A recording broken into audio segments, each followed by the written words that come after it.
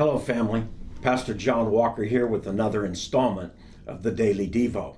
Today's topic is don't use deceptive words. We find this in Proverbs 4:24. Put away from you a deceitful mouth, and put devious speech far from you. If there's anything that I find common between deceptive words, deceitful mouth, and devious speech, it boils down to one word, and that's lie, an untruth.